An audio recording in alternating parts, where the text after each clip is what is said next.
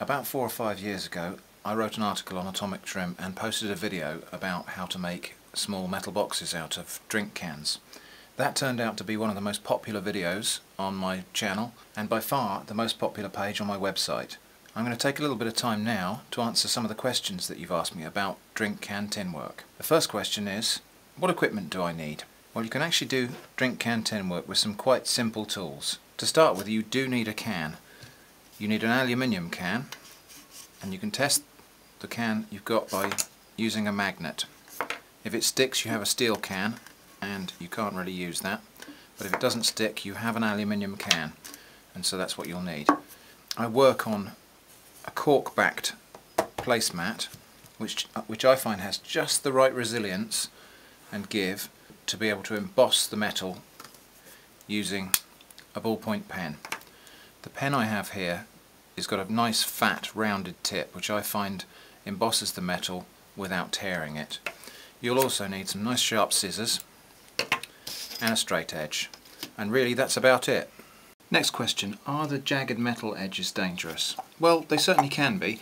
It's easy to find that when you're cutting the metal you end up with pieces sticking out like this which are pointy and sharp and you can easily catch your fingers on that. I wouldn't call this an activity for unsupervised young children but with a little bit of care you can minimise the risk. One way you can do that is by observing which way your scissors close. So this part here, here is on the left, so I can make sure that when I cut round the can, I cut it like that, and any jagged, sharp pieces are left on the piece I'm cutting rather than the piece I'm cutting away. So yes, there are risks, but all it takes is a little bit of care. Next, do you really need to sand the paint off? Well, it's not strictly necessary to sand the paint off the can, but let me show you what happens if you don't.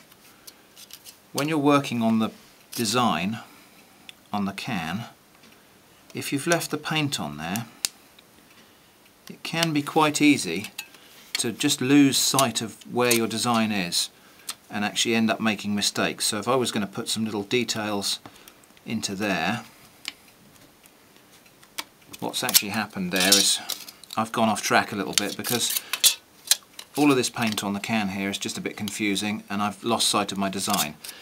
Whereas if you've sanded the paint off the can, it's a lot easier to see exactly where you're going and keep track of your design.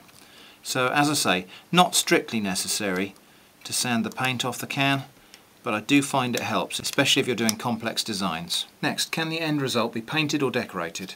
Yes, certainly it can. I think you'd probably find that nail varnish would adhere quite well to this metal, or um, enamel paint or something like that.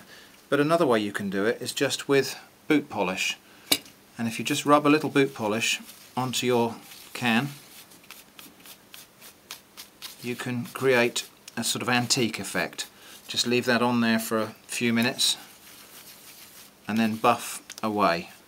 Next question, what are those measurements again? Well, it depends on the size of the metal that you have available. For the standard box that I made, it was a 2 inch central square. Each of the side pieces were 1 inch deep and the little tabs at the edges, it doesn't really matter, whatever's left over. But obviously you can adjust that to fit whatever size of metal you've got. If you have a very tall can, you may be able to get a larger box out of it. If you want to make boxes that fit inside one another, so you can use one as a lid, I recommend making the top square just about a quarter of an inch smaller on the piece that's to fit inside. Next question, what do you call the pattern on these boxes? Well, in all honesty, I just doodled it. I'm a bit of a doodler, and so I just drew it freehand and filled it in with whatever I thought was going to look good. So I went for a combination of sort of swirly designs and some geometric shapes and just some dots and spirals you can really fill in with whatever shapes take your fancy. I do recommend that you practice on a spare piece of metal first and just find out what designs you really like. It's not difficult just to mock up the designs that you like best. Have a play, just experiment and see what you really like. Next question, can you explain the double-sided bit again? Okay, what we want to try to achieve is a design that really stands out from the background and you will find that on your first pass of embossing it it doesn't look very striking. Let's just so let's just do one now. I will do a small spiral. So there we go. And on the first go around you end up with, it's embossed on there but it doesn't look tremendously impressive. It's pushed the metal out a little bit. So what I do, I've already made the spiral on that side. I now go, now go back to this side and I just use the pen to press down the metal just next to the embossed line. And then I do the same on the other side of the embossed line and that just pushes it back down. But obviously this has now flattened the design. So that I then turn over again and retrace the initial design there. And what that does, that causes the embossed design to stand out in sharper relief against the background. Let's just have a look at that on a diagram. So on the first pass, the pen creates a shallow dent in the metal. We then flip the metal over and pass the pen down either side of the raised bump. That presses the metal back down. We then flip the piece over one more time and retrace the original design. And what we're left with is an embossed mark that stands out in greater relief against the background. Next question, are other shapes and designs possible? Oh yes, definitely. If you look on the Atomic Shrimp website, you'll find a template for a star-shaped box and for a hexagonal box. But again, feel free to experiment. This material is cheap, you can try your own designs. There's obviously no reason also to limit yourself to boxes. You could use this technique to make decorative panels for the front of books, picture frames, anything you can imagine really. Anything where you think an embossed metal design might look good. Next question, why did my metal split or tear? This is a tricky one and I think that possibly the metal that cans are made of varies from country to country because I've had a lot of people from the United States say that they had no success at all in trying to crease the cans. The other thing I think might be happening is perhaps that people are using a too sharp an implement or perhaps just using a little bit too much force. So again I think it's worth experimenting with your fold lines before you commit to the first box you make. See I've managed to fold there without splitting but that does work hard on this material and if I try and straighten that out now it will just snap. So you only get one go at any particular fold. One other possibility I think maybe it depends what kind of material you use as a backing. I like to use a cork board. Now this cork board's got just a little bit of give but it's quite firm so the lines it permits you to emboss in the metal are of a finite depth and perhaps that's helping me out. I have also tried in the past using wads of newspaper to back the metal when I do the embossing and I did find I think that it splits a little bit more readily when I do that.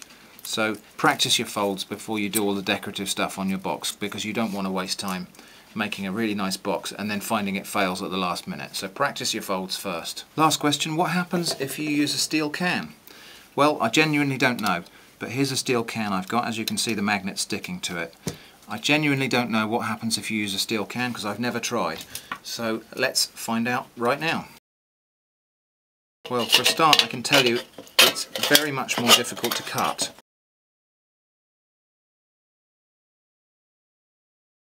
Okay, you can see at a glance we're dealing with a different material here. The steel can is much more shiny on the inside than the aluminium one. I've never tried embossing a steel can, so let's see what happens when we try.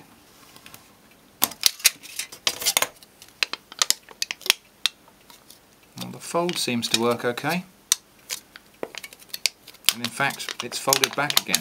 So maybe a steel can is better than an aluminium one. Maybe it's a bit more forgiving a material.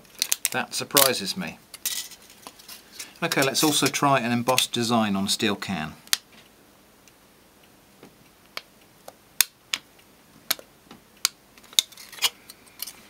Okay, well that seems to have actually worked. So I'm surprised. I've been telling people all along to use aluminium cans and it might well be that steel is in fact a better material than aluminium for this. It will of course rust if, you, if it's abraded so you might have to look after it a bit better than you would an aluminium can but it looks like steel may be an easier material to work with than aluminium in this context because if nothing else the folds seem to work a bit better.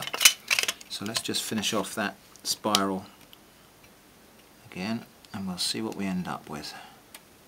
Well, that's not bad at all. Let's compare that with a... Yeah, I think, interestingly enough, I'm going to have to take back everything I've ever said about using a steel can. I think it probably is possible to make little boxes out of steel cans. So there we go.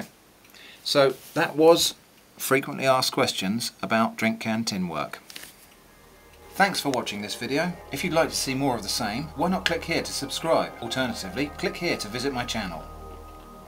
Or you could click here to visit the Atomic Shrimp website.